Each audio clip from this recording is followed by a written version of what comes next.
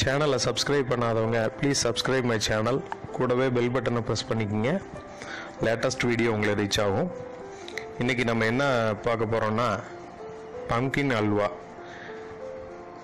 Pumpkin அல்வாவுக்கு பார்த்தீங்கன்னா ஒயிட்டாக தான் இருக்கும். நம்ம வந்து கலர் போடாமல் அது அட்ராக்டிவாக இருக்காது. அதனால் வந்து நம்ம ஆர்டிஃபிஷியல் கலர் இது வரைக்கும் யூஸ் பண்ணிகிட்டு இருக்கோம். இந்த இந்த வீடியோவில் நான் நேச்சுரல் கலர் யூஸ் பண்ணி எப்படி பண்ணுறது அப்படிங்கிறத சொல்லியிருக்கேன். இப்போ அந்த பம்கின்னோட ஸ்கின்னை நம்ம ரிமூவ் பண்ணிக்கலாம்.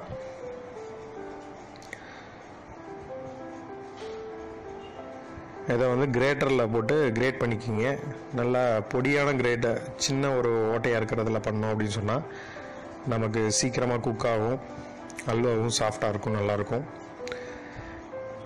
இப்போ நம்ம இந்த ஒரு கிலோ அளவுக்கு நான் எடுத்திருக்கேன். அந்த ஒரு கிலோ அளவுக்கு எடுத்துகிட்டு இதில் வந்து கிரேட் பண்ணியிருக்கோம்.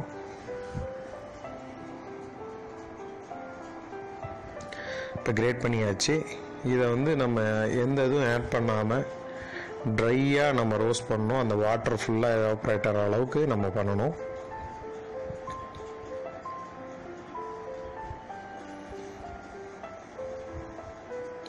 ஒரு டென் மினிட்ஸ் ஆகும். நம்ம அது வரைக்கும் வெயிட் பண்ணலாம். இப்போ வாட்டர் ஃபுல்லாக ட்ரை ஆயிடுச்சு இப்போ நெக்ஸ்ட்டு வந்து நம்ம பாலில் அதை குக் பண்ணோம் பால் வந்து ஒரு அரை லிட்டர் பால் அந்த மாதிரி எடுத்திருக்கோம். அதே மாதிரி இப்போ தண்ணி ட்ரை ஆகிற வரைக்கும் வெயிட் பண்ண மாதிரி இப்போ அந்த மில்க்குக்கும் நம்ம வந்து ஒரு டென் மினிட்ஸ் அது ட்ரை ஆகணும்.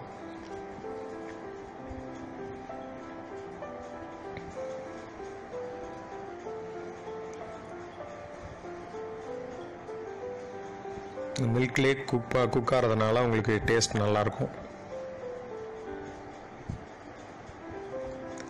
இப்போ அது ட்ரை ஆகிடுச்சு மில்க் ஃபுல்லாக ட்ரை ஆகிற கண்டிஷன் வந்தாச்சு.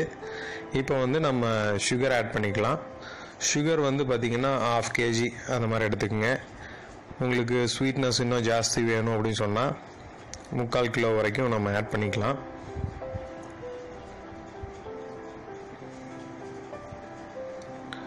இப்போ இந்த சுகர் போட்ட உடனே பார்த்திங்கன்னா கொஞ்சம் வாட்டர்லாம் வெளியில் வரும். சுகர் மெல்ட் ஆகிற ஸ்டேஜ் ஆகும். அதை மறுபடியும் நம்ம திக் பண்ணி அல்வா ஸ்டேஜுக்கு கொண்டு வரணும். இந்த சுகர் ஆட் பண்ணதுக்கப்புறம் நம்ம ஏலக்காய் ஒரு எட்டு நம்பர் எடுத்துக்கலாம். அதை வந்து க்ரஷ் பண்ணி இதோட ஆட் பண்ணிக்கோங்க. இதோட குக் ஆகும்போது அந்த ஃப்ளேவர் நல்லாயிருக்கும். இப்போ நம்ம கலரிங்க்கு வந்து பீட்ரூட் எடுத்திருக்கோம். ஒரு பீட்ரூட் எடுத்து மிக்சியில் தண்ணியெல்லாம் ஊற்றாமல் அரைச்சிக்குங்க அதில் புளிஞ்சு எடுத்த அந்த பீட்ரூட் வாட்டர் அதை வந்து நம்ம இந்த கலரிங்க்காக ஆட் பண்ணியிருக்கோம்.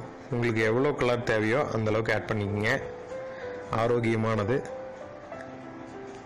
இந்த கலர் ஆட் பண்ணியாச்சு. இதனால் வந்து பீட்ரூட்டில் தான் ஃப்ளேவர் வருமா அப்படின்னா இல்லை. அந்த ஃப்ளேவர் வராது. ஏன்னா நம்ம ஒரு கிலோவுக்கு நம்ம ஒரே ஒரு பீட்ரூட்லேருந்து எடுத்த வாட்டர் தான் ஆட் பண்ணியிருக்கோம். ஸோ எந்த ஃப்ளேவரும் சேஞ்ச் ஆகாது. நீங்கள் ஆட் பண்ணலாம் அதில். உங்களுக்கு கலரும் பார்த்தீங்கன்னா ரொம்ப அட்ராக்டிவான கலராக உங்களுக்கு கிடைக்கும். கலர்ஃபுல்லான பம்கின் அல்வா ரெடி ஆகிட்டு இருக்கு.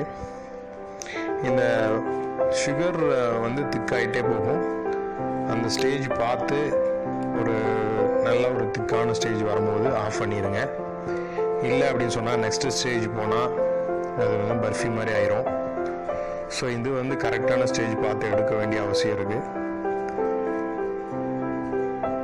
இப்போ இந்த அளவுக்கு திக்காக ஸ்டேஜ் வந்துருச்சு. இப்போ நீங்கள் வந்து ரிமூவ் பண்ணிக்கலாம். இப்போது செப்பரேட்டாக ஒரு கடாயை வச்சுட்டு அதில் ஒரு ஐம்பது எம்எல் கீ ஐம்பது கிராம் கேஷ்யூ நட் கீ ரொம்ப ஹீட்டானு அவசியம் இல்லை. லைட்டான ஹீட்லேயே போட்டுருங்க. அப்போ தான் உங்களுக்கு வந்து நல்ல கலரான கேஷ்யூநட் கிடைக்கும். இல்லை நீங்கள் ஹீட் ஆனதுக்கப்புறம் போட்டிங்க அப்படின்னா போட்ட உடனே உங்களுக்கு கலர் கிடச்சிரும். அது நல்லா இருக்காது.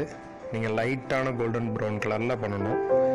இப்போ அதை ரிமூவ் பண்ணிவிட்டு அடுத்து அதுலேயே திராட்சையை போட்டுக்கோங்க. திராட்சையை வந்து ஒரு ஒன் மினிட் அளவுக்கு இருந்தால் போதும். அந்த பால்ஸ் மாதிரி ஆன உடனே எடுத்து நீங்கள் ரெடியாக இருக்கிற அல்வாவில் கடைசியாக ஆட் பண்ணிக்கலாம் இந்த கீயோட. எல்லாத்தையும் மிக்ஸ் பண்ணி விட்டுக்குங்க. பர்ஃபெக்டான அல்வா ரெடி கலர்ஃபுல்லான நேச்சுரல் கலரான அல்வா.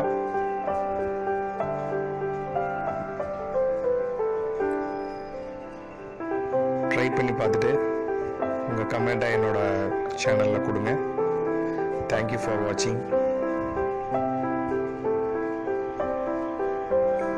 உங்கள் ஃப்ரெண்ட்ஸ் ரிலேட்டிவ்ஸ்க்கும் ஷேர் பண்ணுங்கள்